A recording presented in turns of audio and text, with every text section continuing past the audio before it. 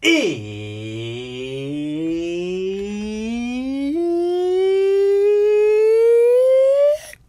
production time. I'm Reid Stefan, realist puppet in the game.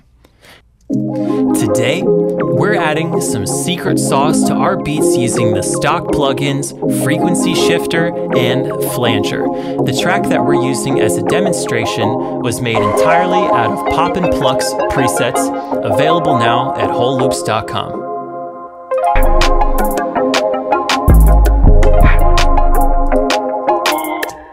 The first sound that I would like to flange is down here.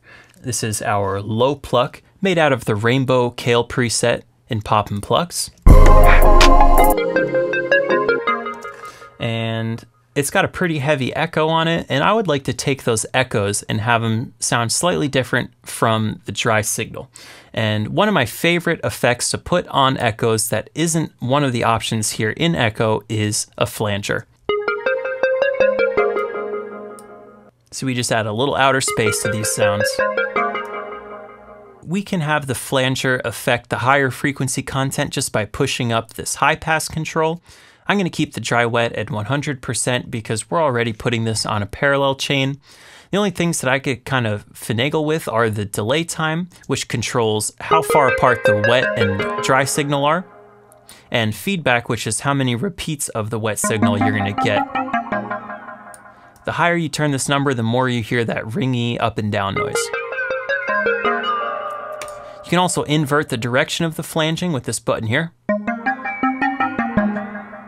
Or if you were using this out here, not as a delay flanger, but just to flange the whole thing, we could hit this envelope and not have it flange the attacks of our signal and just have it wait till the decay of the signal based off of what you put here with the release.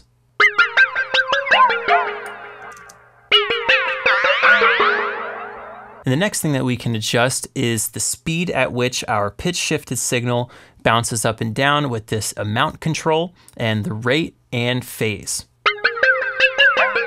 Now this isn't phase as in phasing the audio, this is the phase of the pitch bend. So where in this sine wave is the pitch bend going to begin? And that's what you're controlling here with your phase. Or you have your two buttons here that control the offset of the LFO with either out of phase or having it spin.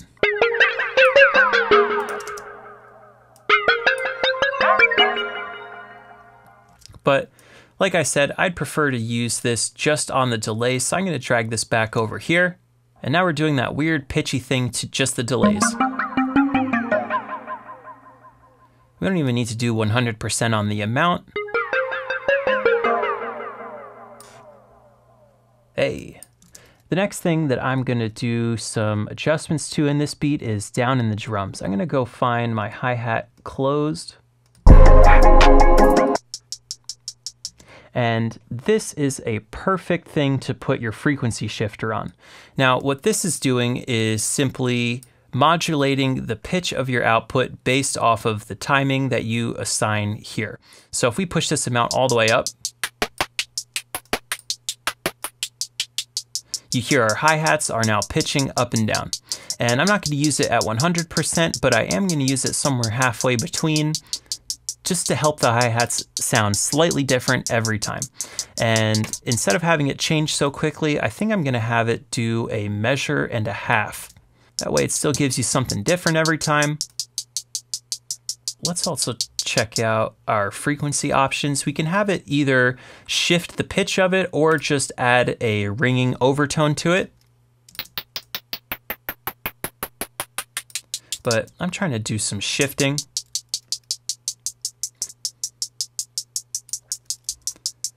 Maybe push this up a little bit more.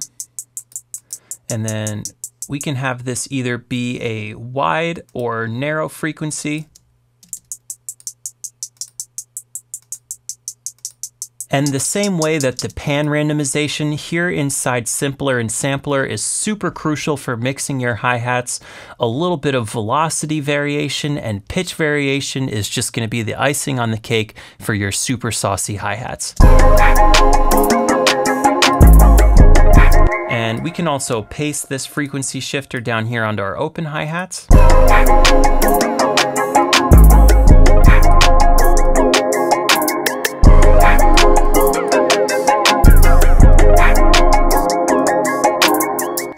Not add a little bit of flanger just to get these things sounding popping?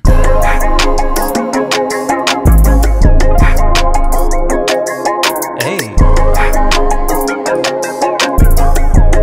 And without it. And back on.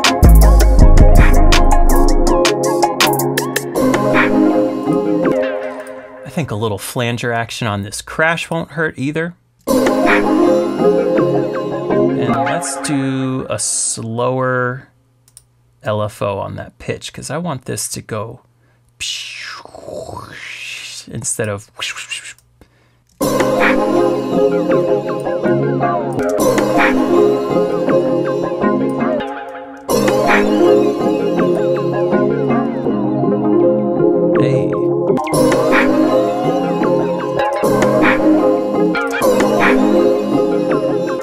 it before our volume shaper, and that is significantly more popping now.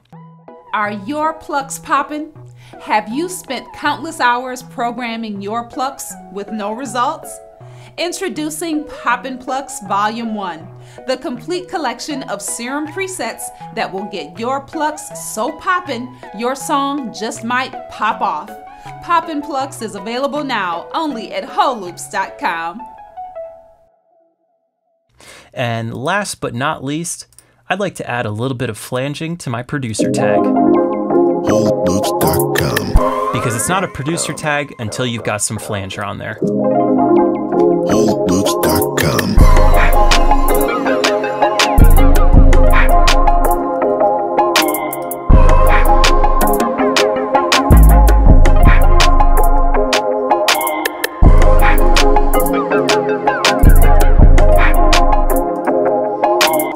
Maybe we'll get a little bit creative and see if we can add some flanger to this clap, but I don't want every clap to be flanged.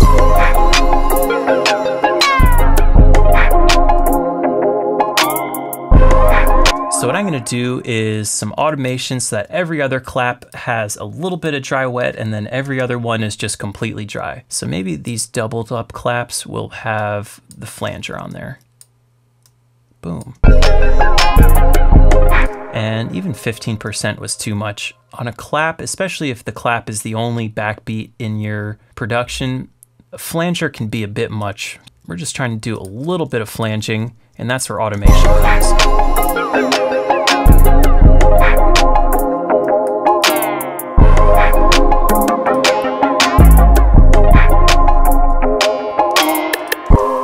And even this I want to turn down more, so I'm going to highlight it and just grab it and pull it down. And if you hold Command, you'll get some fine adjustments. Boom, 3%.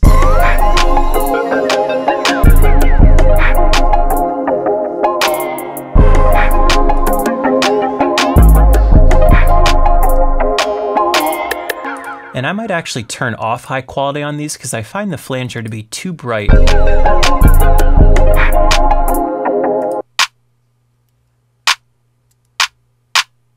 Let's turn our feedback back up. Much better.